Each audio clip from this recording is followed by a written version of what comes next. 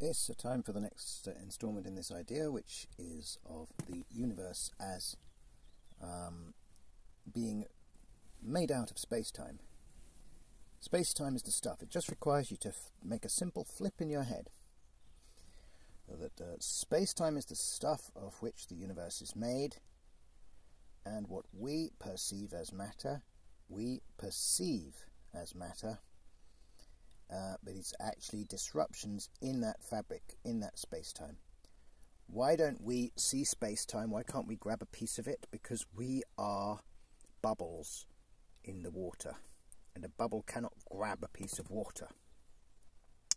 A bubble is defined by the water that surrounds it, but a bubble can never grab a piece of water. It can, uh, insofar as to grab means to extend your hand and to hold, have a piece of it between your fingers. But notice that when you take a hold of something, like I take hold of Bam Bam's bauble here, let me just switch the light on for a second. Um, here's Bam Bam. When I take hold of Bam Bam's bauble, the very act, the very fact of taking hold of it consists of putting my hand around it and never getting to it to hold something means to stop when you get to it and to not be able to go any further. I can't get it. Now, um, the bauble is a solid object, as is my hand, so it is possible for me to squeeze it hard enough that parts of the bauble actually go into my hand and and sort of infuse and join with it. But in terms of space and matter, you can't grab a piece of it they, as it were, deflect each other always. Just as water and air, if, well, let's imagine, uh, let's say oil and water, bubbles of oil in water, but it's easier if we say air because we can have the analogy of the fish seeing water as nothing or us seeing air as nothing. So if we just forget, for this purpose of this exercise, that, that, that, that air is soluble in water to some extent, and imagine that they are separate, that is the effect that you have with space time.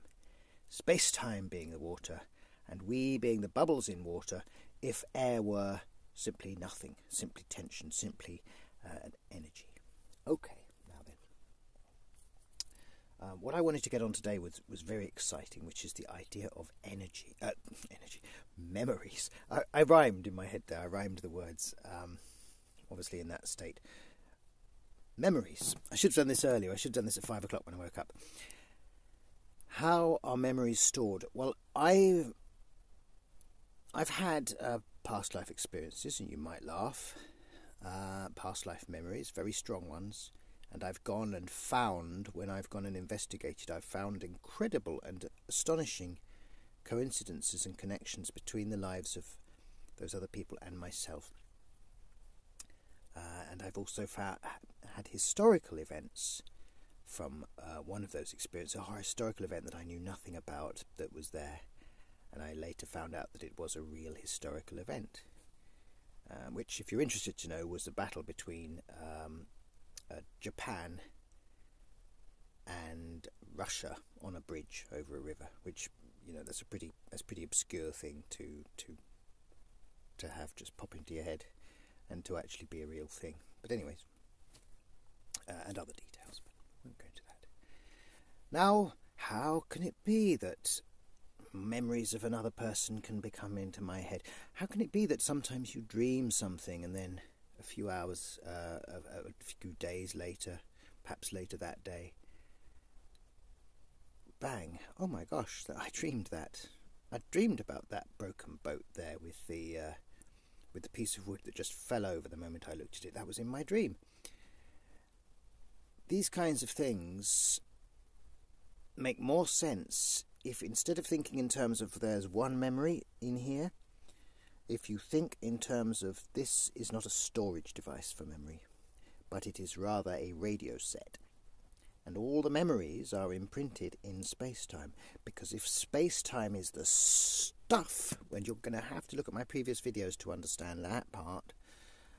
If space time is the stuff, then every little ripple that goes through this radio set here in my head, this radio transmitter receiver in my head, uh, every little ripple that goes through it is going to be stored in my area of space time, primarily in my area of space time, but uh, by implication, it is going to r- ripple outwards to other areas of space time.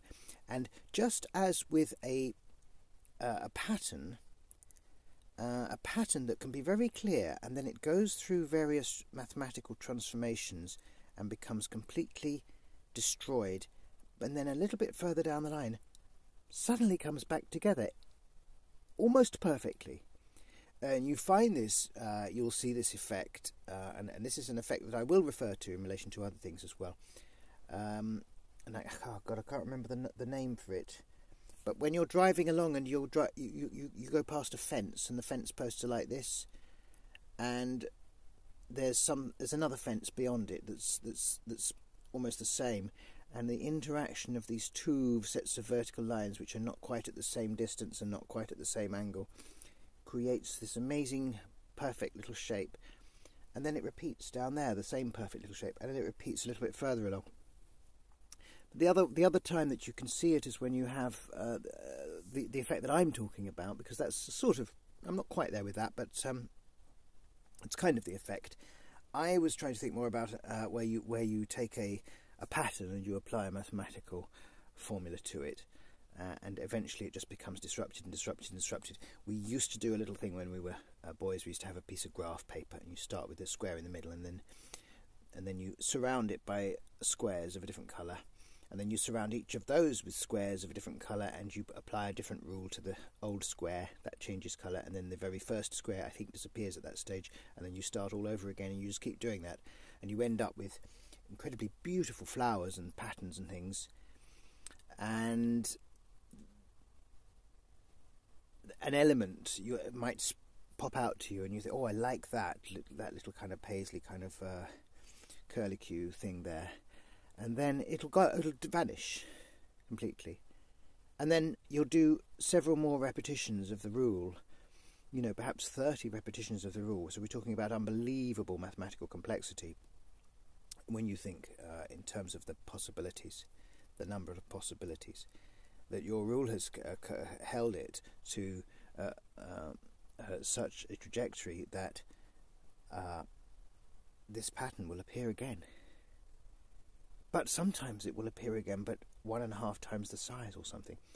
And these are geometrical calculations that our heads cannot do, um, but a simple piece of graph paper can, and, and a simple um, a simple slab of space time can if it is perfect enough and it, if it is bound by perfect rules. And the reason, the only reason it would be bound by perfect rules is if Newton is correct uh, in terms of uh, energy uh, cannot be created or matter cannot be created or destroyed.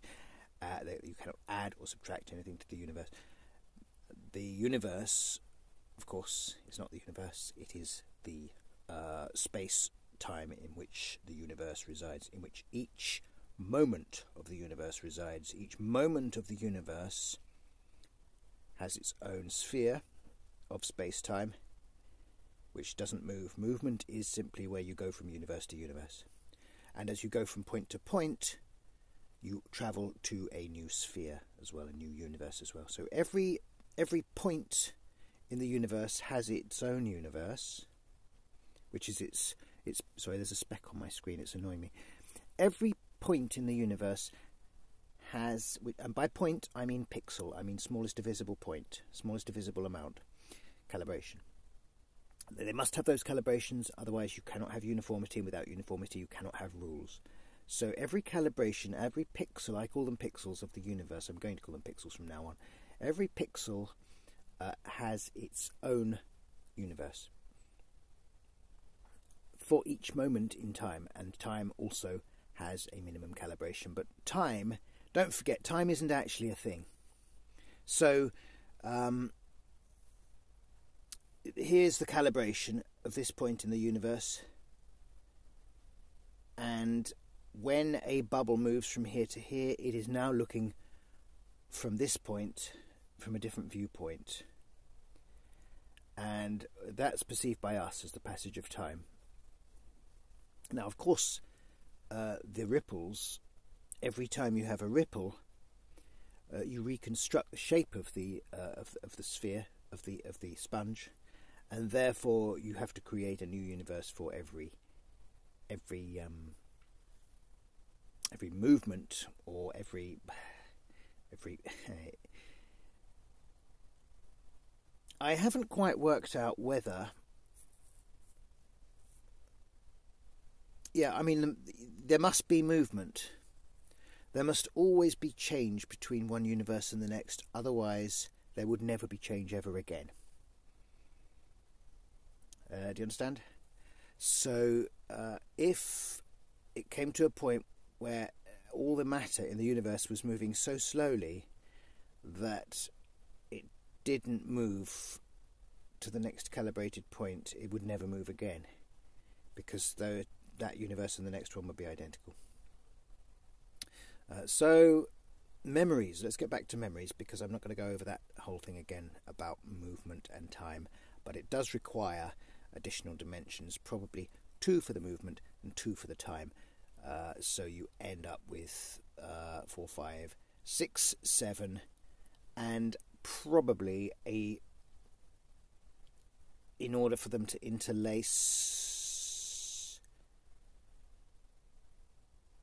I'm not sure if it requires another dimension for them to interlace. I think the extra one I've added already does that. So it could be that there are as few as seven dimensions. Could be. Anyways, we're not going to go over that. We're talking about memories and we're talking about when this radio set uh, interacts energetically with the space time field, um, every interaction creates ripples in the space time field. And uh, anything that is stored in the neurons in here is not really stored in the neurons in here. These neurons are simply uh, charging energetically, statically uh, parts of space time which surround them. The space time, therefore, is distorted, and the longer I hold on to a memory, the longer that distortion is held on to. And just as with our graph paper, if I was to burn a hole in the graph paper and start doing the patterns so that, that little area of the graph paper could never be used, it would start to have a bigger and a bigger and a bigger effect on the pattern that I'm trying to make on that graph paper. That little burning hole would have almost no difference to start with, but then as the changes happen and as you keep coming back to the hole again and again.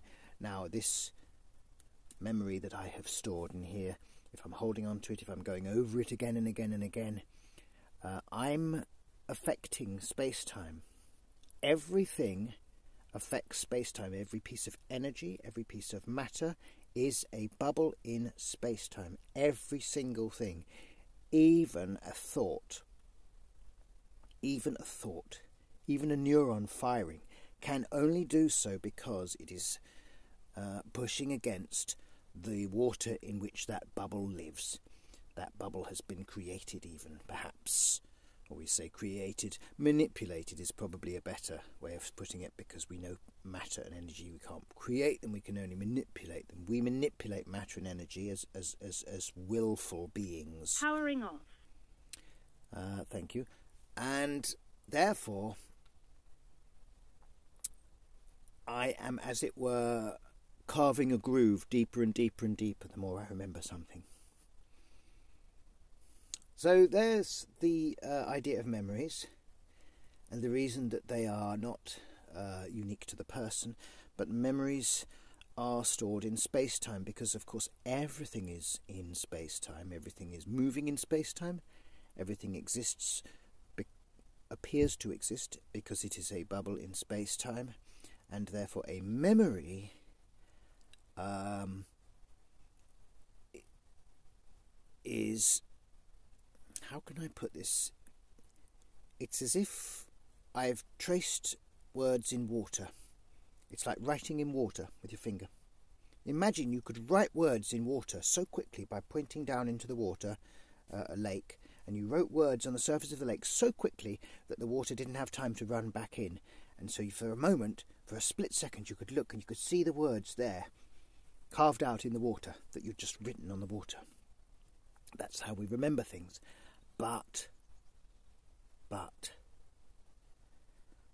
what we don't realise is that those words that I wrote on the water in my lifetime of memory, remembering, that I quickly wrote on the water, and it just created those those those words which were just holes in the water, just grooves in the water carved by my finger to shape form the shape of letters.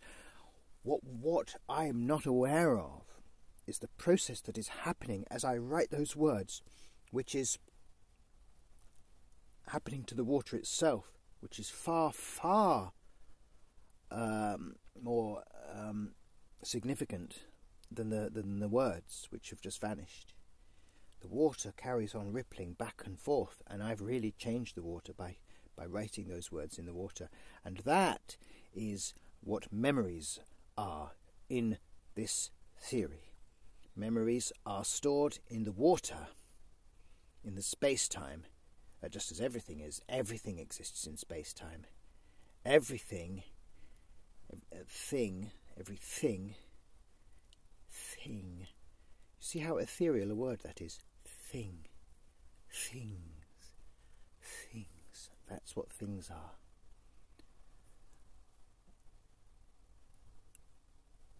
Are wisps of gas passing through space time. Wisps of nothing, in fact. Wisps of energy. Wisps of will passing through space time. Uh, and the real impression is being made on the water itself, on the ocean of space time. This bubble, this sphere of, of tightly packed ball bearings that surrounds us. That is where the memories are actually stored. And that's why memory is unlimited. That's why memories can be shared that's why memories can come back from the past, from other people. That's why memories can belong to a place. And that's why when you remove parts of a rat's brain, eventually the memories will come back again. And experiments were done, horrific experiments, it must be said, where they removed different parts of a rat's brain, and until they had removed through a series of rats every conceivable part of the brain where memory could be stored.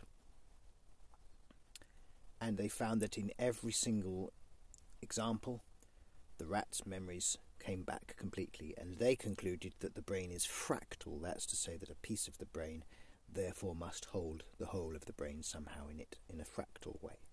But I think if you think of yourself uh, set in space time and you have rippled the space time, I think it's possible uh, that the reverberations and the ripples in that water could be what bring the memories back so easily, and that this radio receiver, once it's reconstructed itself, I mean, if you've got a radio, you can take any component away from the radio, can't you? And as long as you repair the radio, the brain repairs itself, any part of the body. As long as you repair the radio, you can then start listening to Radio Caroline again. And it doesn't matter what bit you take away from the radio, as long as you repair it somehow, you can get it working again and you can listen to radio or a boat. You know, you can take any plank of wood from a boat and it may sink. As long as you get a plank of wood from somewhere, or perhaps even somewhere else on the boat, and put it back, uh, you can get the boat, you can get the thing sailing again. So uh, in this way, uh, the uh, this makes far more sense for the rat or the brain uh, as a radio transmitter that has been repaired and is therefore able once again, uh, as long as too much time hasn't passed, memories fade with time, but of course they do because ripples get flatter with time. Uh, and it's not it's not actually an ocean. It's not bouncing around, moving flat and forward. It's it's it's you know it's fixed around you, pretty much your universe of space time is pretty much there around you. It's so forget about the water in terms of its rippling and the ripples are dying down. Yes, they're dying down affected by other ripples, bigger ripples perhaps, displaced, but all in all, you've got your spot. And that's today done. Thank you.